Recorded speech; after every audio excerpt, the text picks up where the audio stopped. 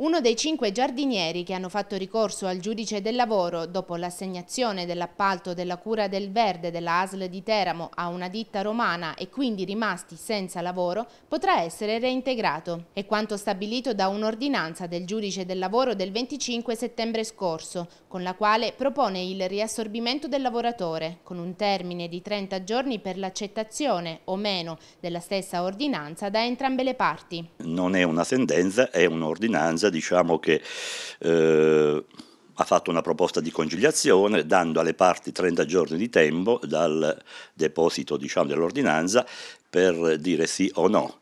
Eh, poi ci sarà l'11 di dicembre l'udienza e lì vediamo che cosa diciamo, si concluderà, speriamo positivamente.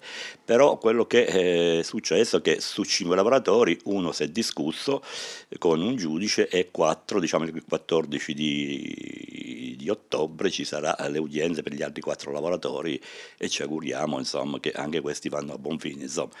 Ricordiamo che sono lavoratori mm, che eh, da diversi mesi eh, sono senza stipendio perché eh, in agricoltura purtroppo non c'è la famosa NASPI. La FAI CISL, che tutela i cinque lavoratori, esprime soddisfazione in attesa della sentenza del prossimo 11 dicembre. Eh, noi diciamo plaudiamo alla magistratura che, che, che se ne dica è stato abbastanza celere nel fissare l'udienza e di eh, addirittura mettere alla prima udienza un'ordinanza.